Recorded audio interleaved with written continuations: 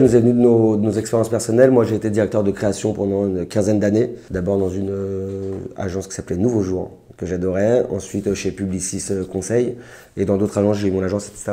Et très souvent, je me disais, c'est fou le nombre de concepts géniaux qu'on sort de la tête des créatifs et qui ne voient pas le jour. Et moi, en amoureux des idées, ça m'a toujours rendu dingue de me dire, mais cette idée, elle est géniale. Il y a bien une marque que ça doit intéresser quelque part. Et Benjamin, qui était en boîte de prod, pareil, lui, il avait des réals qui venaient, qui disaient bah, J'adorerais faire un documentaire sur tel sujet. Il disait la même chose, ça doit bien intéresser une marque. Maintenant, euh, laquelle et comment rentrer en contact et comment être dans le bon timing.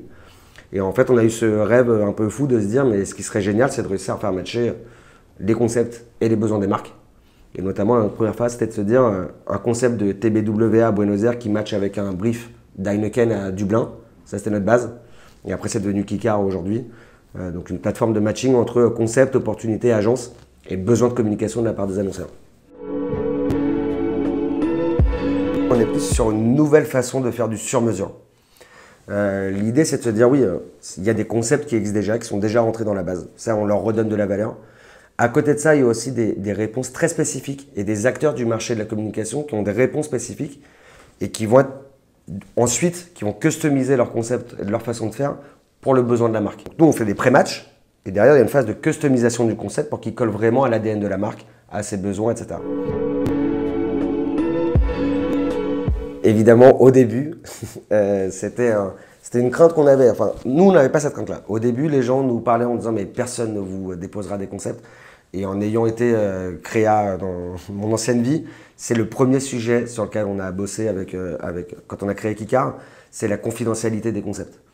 Donc aujourd'hui, euh, aucun concept n'est visible avant un match avec un client et avant que l'agence présente son concept en visioconférence enregistrée à l'annonceur.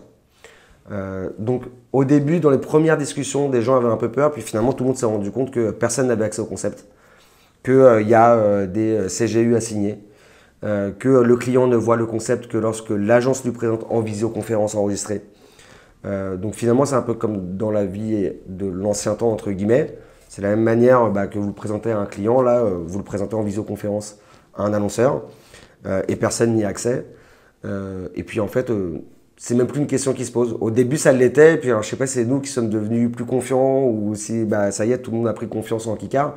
Aujourd'hui, plus personne se pose la question, et, tout le monde dépose euh, beaucoup de concepts. Au début, les, marques, euh, enfin, au début, les agences, elles déposaient un ou deux concepts pour voir, puis elles ont vite compris qu'en fait, il fallait en déposer 30, 40, pour qu'on soit capable de leur dire c'est le concept numéro 12 qui a matché avec tel brief. Donc, euh, customise pendant deux semaines, ensuite tu rencontres le client en vision.